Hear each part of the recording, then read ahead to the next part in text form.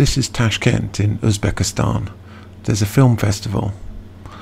In that film festival, Johnny Depp has been invited to show one of his films called Minamata. After the screening of that film, he and Andrew Levitas are going to give an online talk to everyone who wants to watch and listen. After watching the film, an online discussion of the film will take place. This is going to happen on the 17th of September at 7 o'clock.